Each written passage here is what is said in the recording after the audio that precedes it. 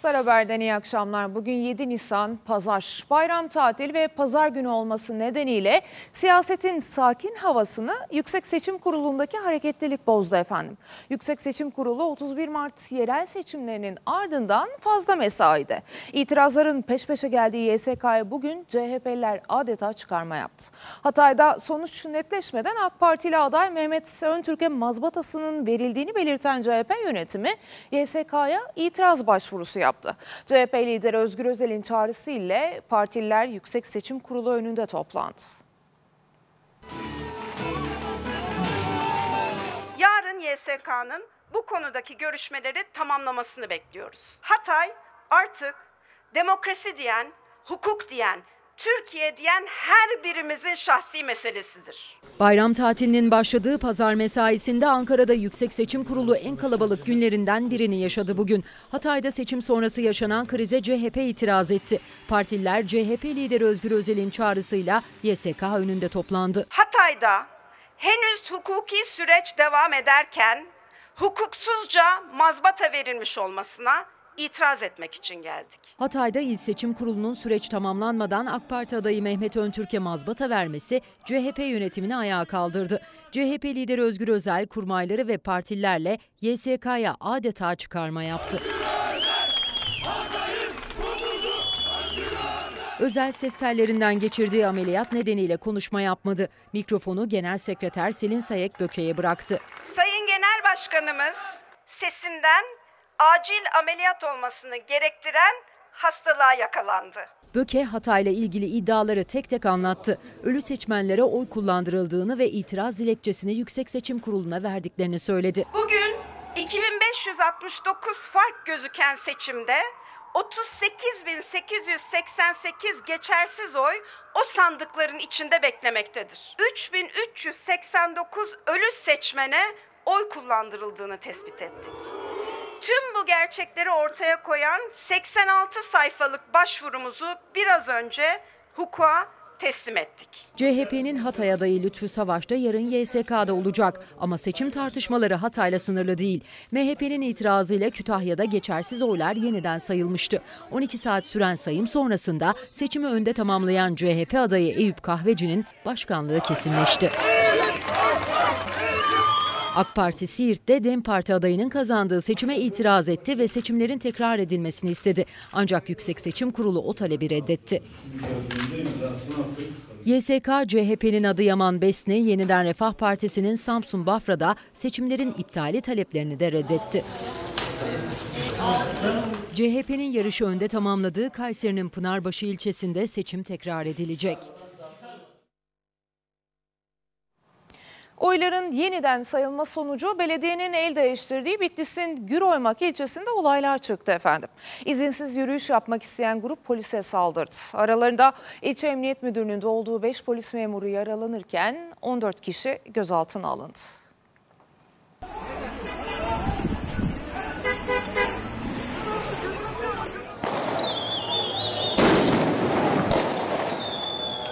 Bitlis, Gürolmak'ta seçim gerilimi olaylı bitti. 5 polis yaralandı, 14 kişi gözaltına alındı.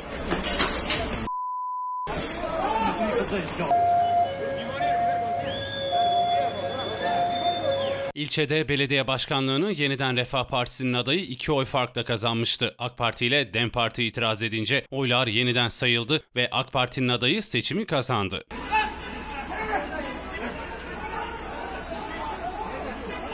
Yeniden Refah Partisi İl Seçim Kurulu'na itirazda bulundu. Partili bir grupsa karayolunu trafiğe kapatıp çöp konteynerini ateşe verdi. Belediye binasının camlarını kırdı.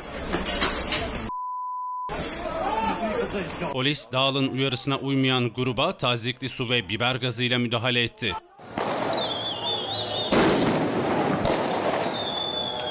Olaylar sırasında ilçe emniyet müdürü ve 4 polis memuru atılan taşlardan hafif yaralandı. Valilik 14 kişinin gözaltına alındığını duyurdu.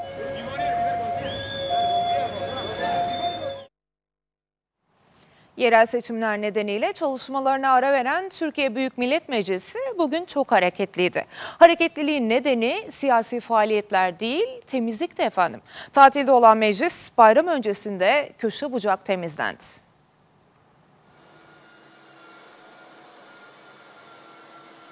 Meclisin ünlü koltukları, milletvekillerinin konuşma yaptığı kürsü, tartışmaların yaşandığı genel kurul. Türkiye Büyük Millet Meclisi'nde her köşe silindi. Bayram temizliği yapıldı. 29 Şubat tarihinde meclis yerel seçimler nedeniyle tatile girdi. Milletvekillerinin seçim bölgelerine gitmesi nedeniyle sessizliğe gömülen meclis yapılan temizlikle hareketlendi. Ramazan bayramı sonrasında mesaiye başlayacak mecliste yüksek bölümlerdeki camlar dağcılık sertifikalı halatlı ekipler tarafından temizlendi. Genel kurul salonunda milletvekillerinin oturduğu sıralar meclis başkanlık divanı ve kürsü görevliler tarafından temizlendi. Tören salonu ve şeref holü de en ince detayına kadar silindi. Bayram sonrası siyasi trafiğin hızlanacağı mecliste yeni anayasa mesaisinin başlaması bekleniyor. Yerel seçimlerin ardından değişen siyasi atmosferin meclis çalışmalarına yansıyacağı yorumları yapılıyor. Eğer planlanan takvimde bir değişiklik olmazsa meclis 16 Nisan'da yerel seçimlere verdiği arayı tamamlayacak ve çalışmalarına başlayacak. İsrail'in Gazze'ye yönelik saldırılarında 6 ay geride kaldı bugün. Savaşın bilançosu ağır, ölüm, yıkım ve açlık. Gazze'de uygulanan şiddet uluslararası alanda İsrail'e tepkiyi arttırırken İsrail içinde de Netanyahu karşıtlığı çığ gibi büyüyor efendim. Dün gece yaklaşık 100 bin kişi İsrail Başbakanı'nın istifası talebiyle sokaktaydı. Gösterilerde olaylar çıktı, yaralananlar oldu. Bu arada İsrail ile Hamas arasında esir takası ve ateşkes anlaşması Anlaşması müzakerelerinin bugün Mısır'da yeniden başlaması bekleniyor.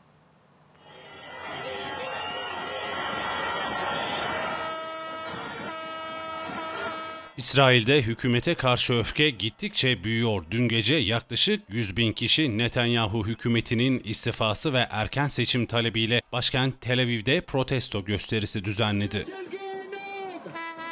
Göstericiler polisin müdahalesine rağmen dağılmadı.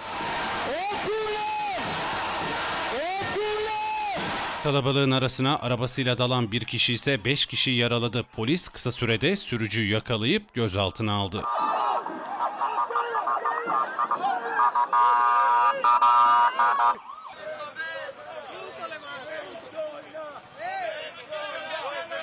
Hükümet karşıtlarına ve Hamas'ın elinde tuttuğu rehine yakınlarına destek her gün büyürken Netanyahu'dan istifa ya da erken seçime ilişkin bir adım yok. Tel Aviv'in en büyük destekçisi Washington'la da ilişkileri gerilmeye başladı. Biden bile derhal ateşkes çağrısı yapıyor.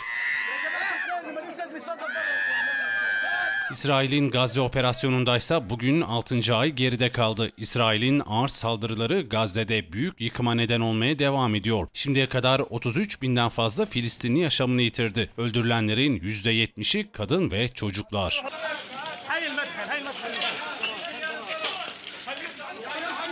İsrail ile Hamas arasında esir takası ve ateşkes anlaşması müzakerelerinin bugün Mısır'da yeniden başlaması bekleniyor. Hamas kalıcı ateşkes için İsrail ordusunun Gazze'den çekilmesi şartını yineledi.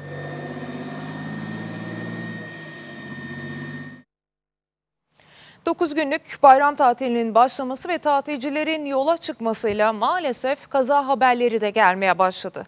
İlk gün kaza bilançosunu İçişleri Bakanı Ali Yerlikaya duyurdu. Yerlikaya 9 günlük Ramazan bayramı tatilinin ilk gününde 651 trafik kazası meydana geldiğini, 9 kişinin hayatını kaybettiğini ve 1047 kişinin yaralandığını açıkladı.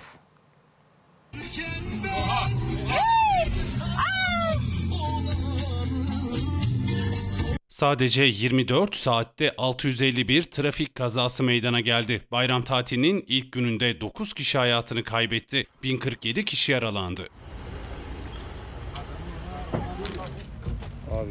Arkadaşlar aşağı inme. Ankara'daki bu kazanın sebebi hatalı şerit değiştirmek. Adana'daki kaza anını güvenlik kamerası kaydetti.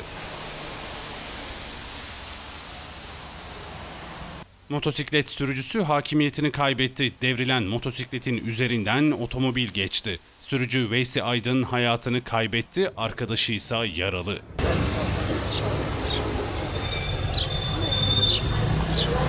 Mardin'de iki araç çarpıştı. Otomobillerden biri alev topuna döndü. Kazada 6 kişi yaralandı. Nevşehir'deki bu kazadaysa sürücünün burnu bile kanamadı.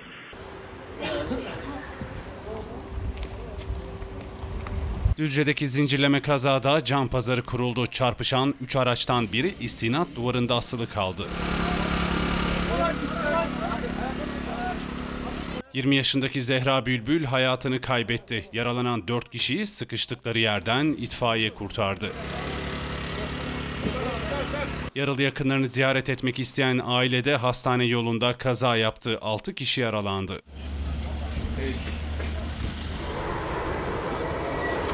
Düzce'de ise bir motokurye farkındalık yaratmak için bayramda yollara düşen sürücüleri böyle uyardı.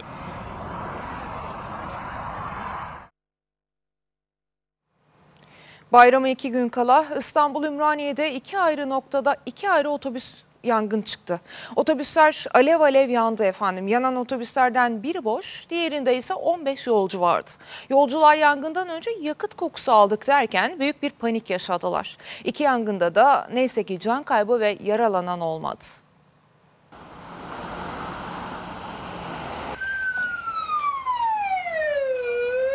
Biri seyir halinde, diğeri terminale girmek üzereydi. Motorlarında başlayan yangın nedeniyle otobüsler alev alev yandı. Büyük panik yaşandı.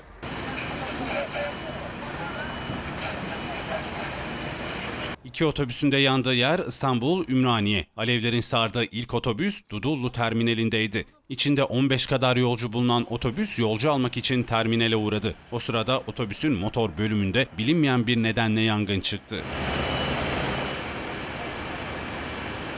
Buraya girerken zaten motor kısmında zaten bir alevler vardı. Hemen buradan bağırındık işte kapıları açın tahliye edin diye.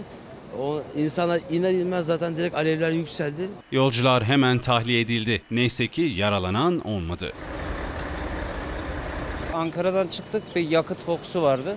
Kokudan e, biraz şey yaptık zaten rahatsız olduk da buraya kadar gelene kadar bir şey yoktu. Otogarın girişinde arkadan duman çıkmaya başladı. Yangın itfaiye ekiplerinin müdahalesiyle söndürülürken otobüs kullanılamaz hale geldi.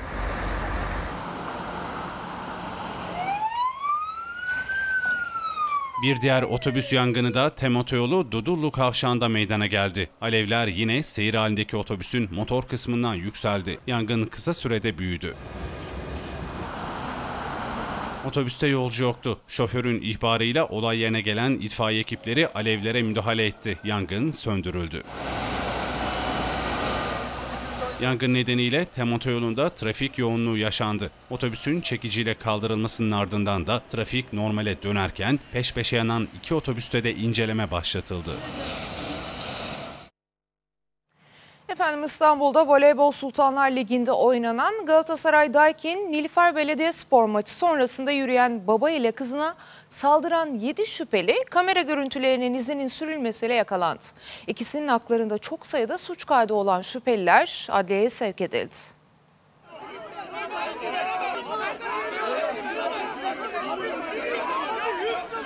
Maç çıkışında babayla kıza saldırıp darp eden, ellerindeki bayrak ve pankartları gasp eden 7 kişilik saldırgan grup yakalandı. Olayın adresi İstanbul'daki Burhan Felek Spor Salonu'nun önüydü. 5 Mart akşamı Galatasaray Nilüfer Belediyesi kadın voleybol müsabakası sonrası tribünler dağıldıktan sonra ellerinde Galatasaray bayrak ve pankartları olan Uğur İris ve kızı Nil İris ise spor salonunun ön bahçesine çıktı. O sırada yolun karşı tarafından gelen kalabalık bir grup aniden babayla kızına saldırdı.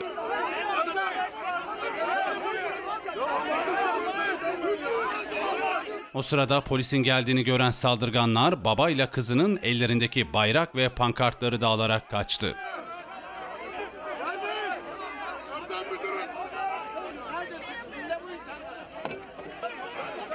Polis kamera kayıtlarını inceledikten sonra ikisinin mala zarar vermek ve dolandırıcılıktan suç kaydı bulunan toplam 7 kişiyi yakalayarak gözaltına aldı. Şüpheliler yağma ve kasten yaralama suçlarından adliyeye sevk edildi. Bağcılar'da binanın duvarında açtıkları delikten önce kasap dükkanı sonra yanındaki döviz bürosuna giren hırsızların hedefinde dövizcinin kasası vardı. Kasaya ulaşan hırsızlar oksijen tüpüyle kasayı eritmeye çalışırken alarm sistemi devreye girdi efendim. Hırsızlar ise yanlarında getirdikleri malzemeleri bırakıp olay yerinden kaçtı.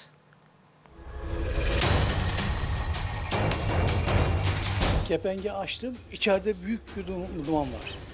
Göz gözü görmeyecek derecede duman var. Film sahnelerini aratmayan hırsızlık girişimi İstanbul Bağcılar'da meydana geldi. Hırsızların ilk giriş noktası işte bu kapıydı. Ardından boş dükkana doğru yöneldiler. Camdan içeri girdikten sonra ise duvarı delmeye başladılar. Bina girişinde bir yak- yaklaşık 50'ye 50 bir delik açmışlar. Arka tarafımızda bir dükkan var. O dükkan boş dükkanın önce camını kırıyorlar, içeriye giriyorlar. Arka sokaktan girmeye çalışmışlar.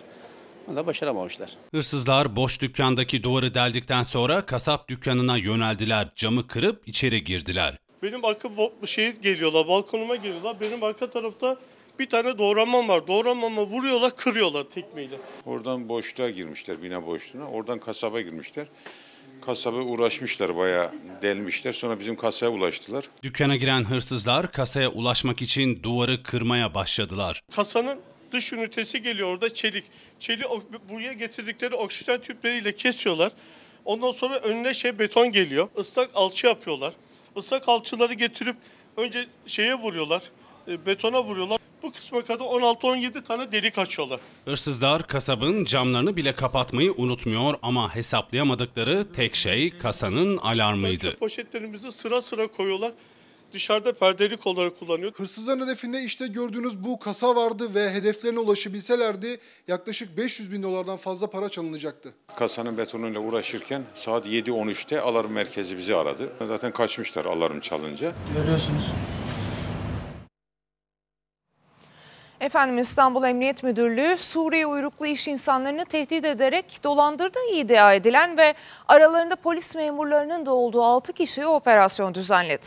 Operasyonun adresi Esenyurt'tu. İş insanlarını evlerinden alıp tehditle para isteyen çetenin akıl almaz tezgahı operasyonla ortaya çıkarılırken gözaltına alınan 6 şüpheli mahkemeye sevk edildi. Suriyeli 2 kişi tutuklandı. 2 polis adli kontrol şartıyla serbest kalırken açığa alındı.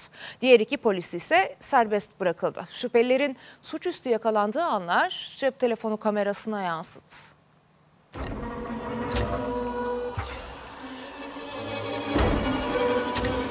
Önce hakkınızda soruşturma var diyerek korkuttular ardından para istediler. Aralarında Suriyelilerin ve polislerin olduğu dolandırıcılık çetesi suçüstü yakalandı. Para burada cebinde. Bunu bana bıraktı diyor. Polis bana alıyor. Dolandırıcılık olayının ilki İstanbul Avcılar'da yaşandı. Polis memuru 20 Şubat gecesi Suriye uyruklu iş insanının kapısına dayandılar ancak ellerinde hiçbir resmi evrak yoktu. Dışarı çıkan iş insanını önce ayaküstü sorguladılar ardından da alıp götürdüler. İş insanının iddiasına göre polisler o gece kendisini tehdit ederek para istedi. Çete bir süre sonra hedefine başka bir Suriyeli iş insanını aldı. İlk iletişime geçen de başka bir Suriyeli oldu. Müvekkilimize yarın iş yerine gitme. Yarın iş yerine gidersen Göçmenlik Kaçakçılığı Şube Müdürlüğü'nden gelecek olan 4 tane polis memuru seni alıp e, götürecekler, tutuklayacaklar hatta işkence edebilirler. Sakın iş yerine gitme, bana güven, göreceksin geldiklerini diyor. Aynı polisler yine devreye girdi. Tehdit ettikleri iş insanının iş yerine giderek gözdağı verdiler. Ertesi gün iş insanının cep telefonu bir kere daha çaldı. Karşıdaki ses aracılık yaptığını söyleyen Suriyeli şüpheliydi. Polis ekiplerinin soruşturmayı kapatmak için 50 bin dolar istediklerini kendisinin ise 20 bin dolara onları ikna edebileceğini söyledi. İş insanı teklifi kabul etti ama soluğu savcılıkta aldı. Başına gelenleri anlattı. İş insanına seri numaraları alınan paralar verildi. Buluşma yerinde polis ekipleri de hazır bulundu. Suriyeli iki şüpheli parayı teslim aldığı anda suçüstü yakalandı. Bunu bana bıraktı diyor. Seri numaralarını biraz göstersene iki tanesini. Soruşturma derinleştirilince Suriyelilerle işbirliği yapan 4 polis de gözaltına alındı. İkisi ifadelerinin ardından serbest bırakılırken adliye sevk edilen 2 Suriye uyruklu şüpheli tutuklandı. Açığa alınan 2 polis memuru da adli kontrol şartıyla serbest bırakıldı.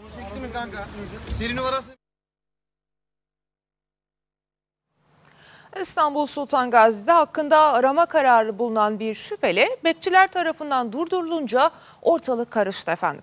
Karakola gitmemek için bekçilere direnen şüphelinin yakınları da olay yerine gelince sokak savaş alanına döndü. Bekçilere destek polisten geldi. Polis ekipleri şüpheli adamı ve yakınlarını yere yatırıp gözaltına aldı.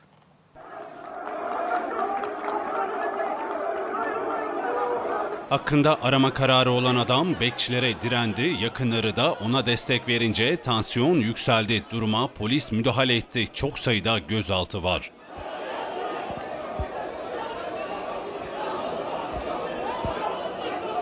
Sultan Gazi Emniyetine bağlı bekçiler yolda şüpheli gördükleri adamı durdurdu. Bilgi kontrolü sonrası kişinin aranması olduğu anlaşıldı. Emniyete gitmek istemeyen adam bekçilere direndi. Yakınları da ona destek verince arbede çıktı.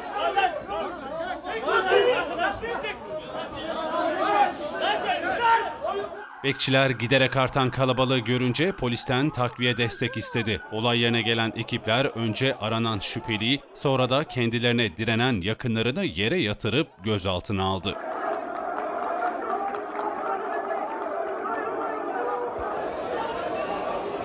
Gözaltına alınanlar emniyete götürülürken polis bir süre daha güvenlik önlemlerini devam ettirdi.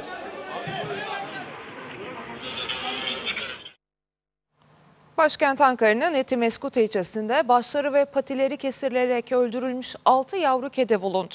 Emniyet inceleme başlatırken hayvanseverler bu insanlık dışı katliamı tepki gösterdi efendim. Hayvanlara yönelik vahşetin durdurulması çağrısı yaptılar. Bir açıklamada Etimeskut Belediye Başkanı Erdal Beşikçioğlu'ndan geldi. Beşikçioğlu gereken yapılacak dedi.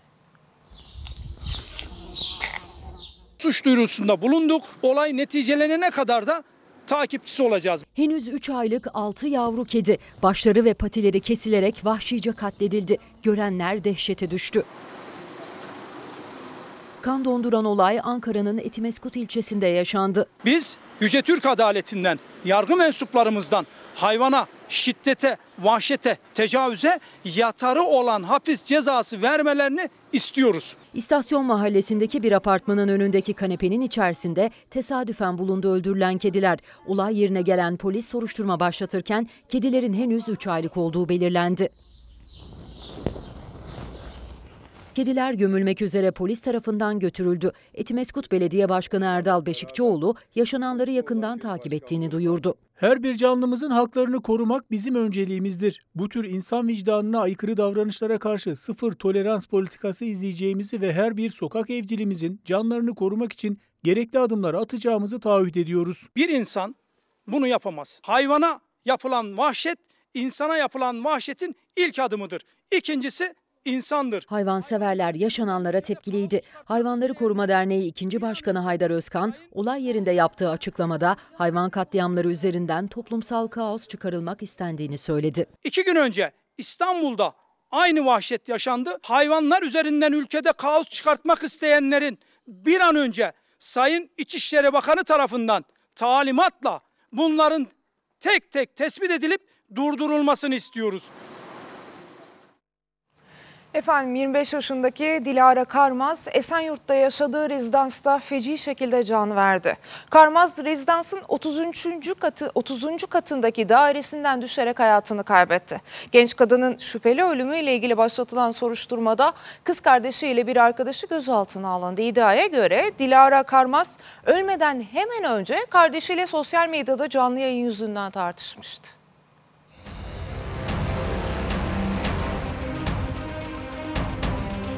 Kaza mı, intihar mı, cinayet mi dedirten olay İstanbul Esenyurt'ta dün gece saatlerinde yaşandı. Lüks sitede yaşayanlar bir kişinin düştüğünü fark edince hemen polise haber verdi. Ekipler kısa sürede olay yerine geldi. Yapılan incelemeler sonucu hayatını kaybeden kişinin 24 yaşındaki Dilara Karmaz isimli kadın olduğu belirlendi. Karmaz rezidansın 30. katındaki dairesinden düşerek can verdi. Polis hemen ölen genç kadının 30. kattaki dairesine çıktı. İçeride iki kadın vardı. Biri kardeşi, diğeri ise arkadaşıydı. Daire içinde inceleme yapılırken iki kadın da emniyete götürülerek sorguya alındı. Sorgulanan genç kadınlar ifadelerinde sosyal medya hesabından yaptıkları canlı yayınla ilgili tartıştıklarını ardından Dilara Karmaz'ın alkol alıp odasına gittiğini ve atladığını söylediler. Olay yerinde yapılan incelemenin ardından genç kadının cansız bedeni adli tıp kurumuna gönderildi. Polisin ise olayın üzerindeki sis perdesini aralamak için çalışmaları sürüyor. İstanbul Bakırköy Adliyesi'nde görevli zabıt katibi aralarında adliye çalışanlarının da bulunduğu kişileri saadet zinciri kurarak 80 milyon lira dolandırmakla suçlanıyordu. Savcılık dolandırıcı zabıt katibi ile ilgili soruşturmayı tamamladı ve iddianameyi hazırladı efendim. Uyanık zabıt katibinin 5 ayrı suçtan toplamda 144 yıla kadar hapsi ve 130 bin gün adli para cezasına çarptırılması talep edildi.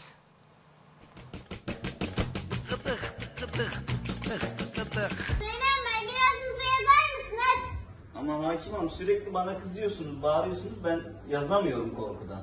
Yüksek kar payı ve faiz vaat etti. Hakimlerin UYAP şifreleriyle dolandırıcılık yaptı. Toplam 14 kişiyi 80 milyon lira dolandırdı. Savcılık saadet zinciri kurduğu iddia edilen zabıt katibi için 144 yıl hapis cezası istedi.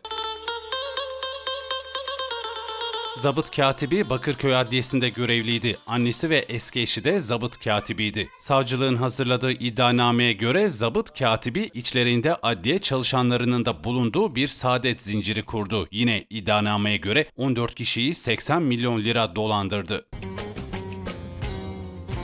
Zabıt katibi topladığı paralarla yaptığı tatilleri de sosyal medya hesabından paylaşıyordu. Yıldızlara eşmişsin Bakırköy Cumhuriyet Başsavcılığı'nın hazırladığı iddianamede 8 kişi şikayetçi, 3 kişi şikayetçi sanık, 15 kişi de sanık olarak yer aldı. İddianamede ayrıca suç örgütünün hakimlere ait UYAP şifreleriyle mağdurların kişisel bilgilerine ulaştıkları ve kişilerle iletişime geçerek para aldıkları da belirtildi. Zabıt katibi için savcılık, örgüt kurmak, nitelikli dolandırıcılık, tefecilik, verileri hukuka aykırı ele geçirme ve bilişim sistemine girme suçlarından 40 yıldan 144 yıla kadar hapis ve 130 bin lira adli para cezası istedi. Bursa'da başıboş köpekler yüzünden baba ile 10 yaşındaki oğlu kabusu yaşadı. Yolda yürürken bir anda köpeklerin saldırısına uğrayan baba oğlunu iterek uzaklaştırdı. Kendisi 6 köpeğin arasında kaldı. O anları güvenlik kameraları kaydetti efendim. Babanın yardımına otomobille oradan geçen arkadaşı yetişti.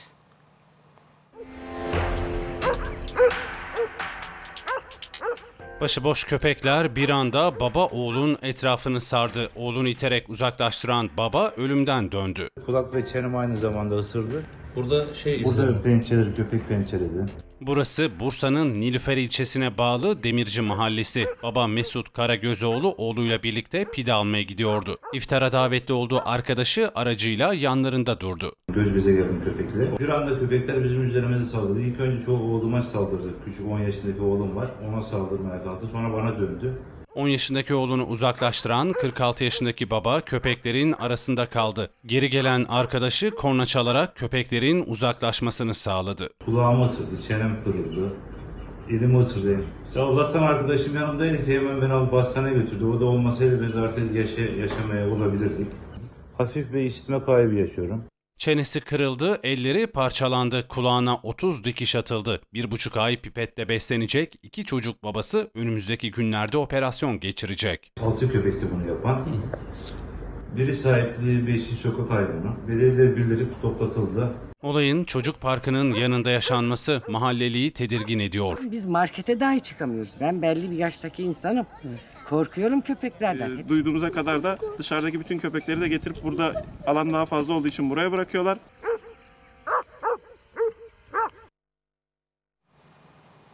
Avcılar'da teknesinden atık su boşaltırken görüntülenen Ömer Karakaya'nın bu görüntüleri sosyal medyada paylaşıldı. Denize yağ boşalttı. Bu ne rahatlık notuyla paylaşılan görüntü kısa sürede yayıldı. Sahil güvenlik Karakaya'ya ceza kesti ancak arkadaşlarının anlattığına göre görüntülerin altına yazılan kötü yorumlar ve hakaretleri okuyan Ömer Karakaya buna dayanamadı ve fenalaştı. Yüksek tansiyon hastası olan Karakaya kalp krizi geçirerek hayatını kaybetti efendim.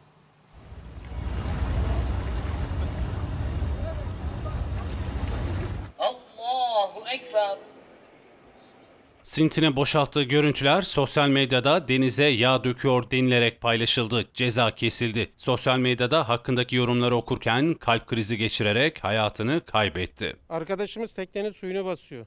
Yani yağ basıyor diye lanse ediyorlar ama bu tekneler genelde kestane ağacından yapıldığı için kestane ağacı siyah bir su salar. Sayfaya düştükten sonra yapılan yorumlar, edilen küfürler bu arkadaşı bu duruma getirdi. Ömer Karakaya avcılarda teknesiyle balıkçılık yapıyordu. Teknesinde biriken sintineyi denize boşaltırken cep telefonuyla kaydedildi. Sahil güvenlik zaten gelmiş, işlemini yapmış, cezasını kesmiş.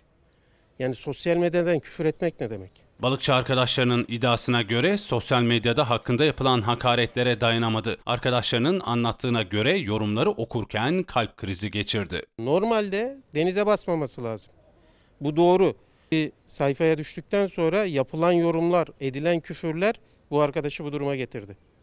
Akşam üzüntüden, kızgınlıktan olduğu yerde aort damarı patladı arkadaşın. Karakaya kaldırıldığı hastanede hayatını kaybetti. Cenazesi avcılarda son yolculuğa uğurlandı. Arkadaşları ise balıkçının itibar suikastına uğradığını söyledi. Hani o duyarlı vatandaş onu sadece oradan çekip şikayet etseydi yeterliydi. Hani linç yapmamış olsaydı bu çocuk şu an hayatta olacaktı.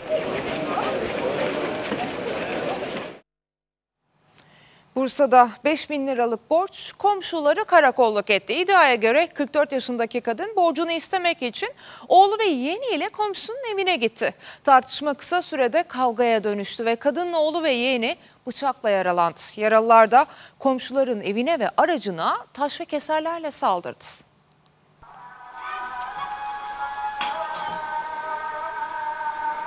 Taşla, keserle eve araca saldırdılar. Olaylı borç tartışması karakolda bitti. Bursa'da 44 yaşındaki kadın oğlu ve yeğeniyle iddiaya göre verdiği 5 bin liralık borcu istemek için komşusunun kapısına gitti. Bugün evimi basmaya geldiler. Tamam, mı? Geldiler. Bir Rukiye bana vurdu şimdi. Ben de ona vurma bana yapma dedim. Bu sefer çocuk saldırdı. İddiaya göre 53 yaşındaki adam kadın komşusunu, komşusunun oğlu ve yeğenini bıçakla yaraladı. Rukiye'yi bıçakladı. Öteki geldi. Üçü birbirine bana saldırdılar ya. Gerilim tırmandı. 3 kişi keser ve taşlarla kendilerini yaralayan adamın evine ve aracına saldırdı. Bu masrafı karşılayacak. Polis geldiğinde taraflar hala tartışıyordu. Ev sahibiyle diğer 3 kişi gözaltına alındı.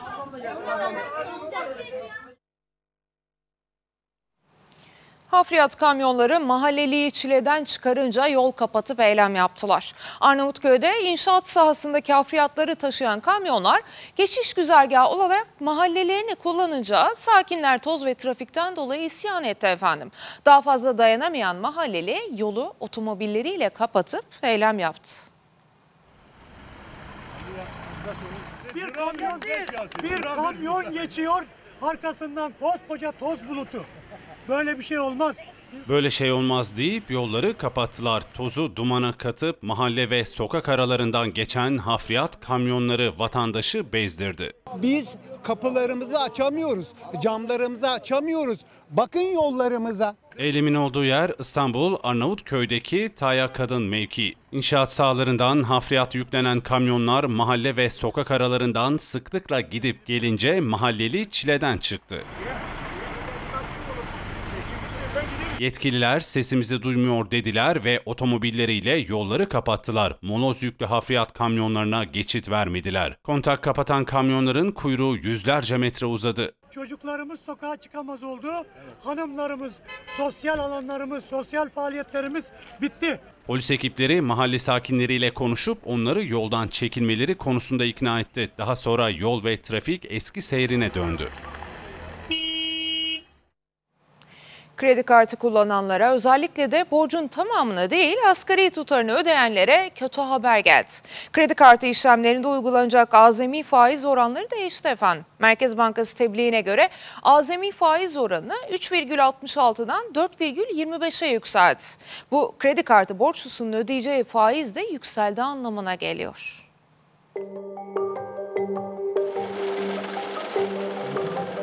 Merkez Bankası kredi kartı işlemlerinde uygulanacak azami faiz oranını yükseltti. Eğer kredi kartı kullanıyorsanız bundan böyle harcamalarınıza biraz daha dikkat etmeniz gerekebilir. Çünkü faiz oranları 3,66'dan 4,25'e yükseltildi. Nasıl etkilenirsiniz bu durumdan? Kötü etkileniriz tabii ki de. Harcamalarınız azalır mı? Azalır tabii ki de otomatikman. Ne yapacaksınız? Ona göre. Yok yok az az. Yapacak bir şey yok ne yapalım. Elimden geldiğince tamamını ödemeye çalışıyorum. Kredi kartına asgari ödeme yapanlar da dahil olmak üzere borcu bulunan kişiler artık daha fazla faiz ödeyecek. Ben hepsini ödeyecek şekilde harcıyorum, onları ödüyorum. Minimum borcu ödemiyorum. O yüzden faiz çok etkilemiyor. Evet. Kredi kartı kullanımı e, azalabilecektir çünkü e, taksit yapma veyahut e, asgari miktarı ödeyip kalanı ertelemenin maliyeti yükseldiği için tüketicinin bütçesi e, oldukça zorlanacak. Zaten insanlar sıkıntılı durumda. E, kredi kartlarıyla dönüyorlar. E, şimdi böyle de olduğu zaman ne oluyor? İnsanlar daha çok bir geçim sıkıntısına düşerler. Hepsinin tamamını ödeyemediğimiz için yapacak bir şey yok. Mecbur faiz gelecek diyorsun. Yani Yani bir harcaman var zaten onu kısıtlayamazsın yani. Mecbur aynı devam edecek. Mecbur ödeyeceğiz diyorsun. Sana kadar gideceğiz. Merkez Bankası'nın bu faiz arttırımı e, diğer e, branşlarda, sektörlerde ve kesimlerde de tasarruf tedbirlerinin etkin uy- uygulanmasıyla ilerlemeli. Tüketicilere fazla yük bindirildiği kanaatindeyim.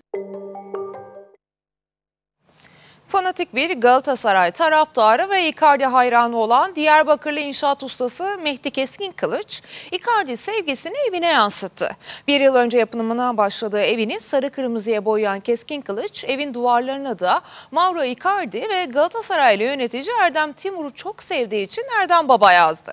Keskin Kılıç, Icardi'yi Diyarbakır'a köyümüze bekliyorum dedi. Havai viagem, havai viagem, vai, vai, vai. Evinin dış cephesini çocukluğundan beri taraftarı olduğu Galatasaray'ın renklerine boyadı. Üzerine de hayran olduğu Mario Icardi'nin adını yazdı. İnşaat ustası Mehdi Keskin Kılıç aylarca uğraştı, hayallerindeki evi yaptı. Evi yaptım dedim bir gün bir evim olsa sarı kırmızıya boyarım. Icardi de Galatasaray'a geldi. Ee, geçen sene Galatasaray şampiyon yaptı. Ondan sonra da Icardi sevgisi de oradan başladı. Diyarbakır'ın Silvan ilçesinde yaşayan 36 yaşındaki Mehdi Keskin Kılıç mesleğiyle çocukluk aşkı Galatasaray'ı birleştirdi. Alçı ustası olan Keskin Kılıç sarı kırmızıya boyadığı evinin üzerine Galatasaray'ın logosunu da işledi. Hayalimde kendime bir ev yapmak. Fanatik Galatasaray taraftarıyım ve Galatasaray'ı çok seviyorum.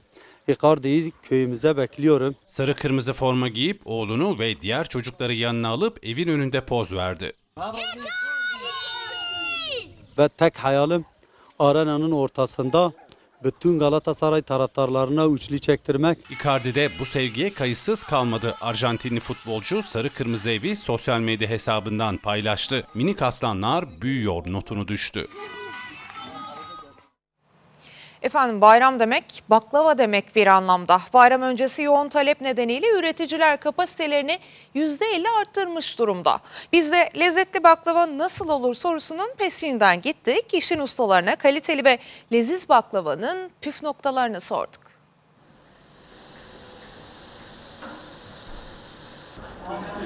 Bayrama sayılı gün kaldı. Baklava tatlı satışları hızlandı. Üretimler %50 arttı.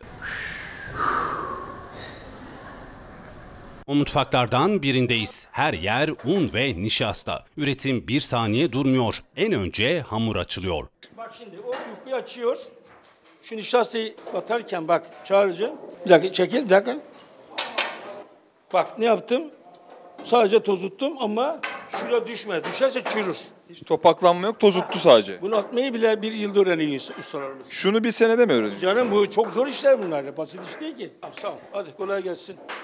Kolay gelsin usta. Sağ ol, sağ ol. Yani moral önemli değil mi? Kolay gelsin. Tabii bunlar bunların hepsi. Ben 50 senedir meslekteyim. Bunlar da 20-25 yıl oldu, 35 yıl oldu. Kolay gelsin usta. Efendim siz kaç yıldır buradasınız? 38. 38 senedir bu işi mi yapıyorsunuz? Evet. Maşallah. Sonra o yufka daha da inceltiliyor. Yufkayı ince değil, çok ince açmak lazım. Çek, bırak, bir daha çek. Ya, bak gördünüz mü? Evet, şimdi biz Türkiye'nin ilk özel televizyon logosu göründü. Star. eğer altın delerse iyi açmış. Delmezse açamadı. Değil mi? Evet şu sahneyi yapacağız size. Yapalım. Şimdi atıyoruz. Heh. Öyle mi? İyi bir hamur. Sıra malzemelerde. Baklava için birçok malzeme gerekli evet ancak bir tanesi var ki o baklavanın olmazsa olmazı. Mesela yağ, egzoz gazının girmediği, ayak basmamış otlardan beslenen, koyun ve keçi sütünden yapılmış, erimiş yayla tereyağı. Diğer adı sade yağ. Nereden geliyor bu? Harran'dan, yani Anadolu'dan geliyor, Güneydoğu Anadolu'dan geliyor. Hayvan otun dibinden yiyecek. Bu çok önemli. Bir tek ay. O da ne zaman? Bahar ayı. İşte bu yöresi mevsim. Onun tereyağı bu. Tabii.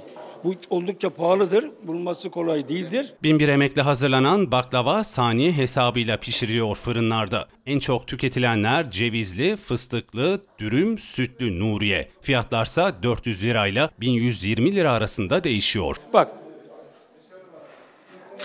Bir de kaldırdığın zaman şerbet damlamayacak. Az önceki hışırtıyla kulağımız doydu. Şimdi burnumuz. Çok güzel anlattın. Hem göze hem kulağa hem koklamak, damak ve mide. Ve Star'ın haberi burada noktalıyoruz efendim. Yarın akşam yeniden görüşmek dileğiyle iyi akşamlar.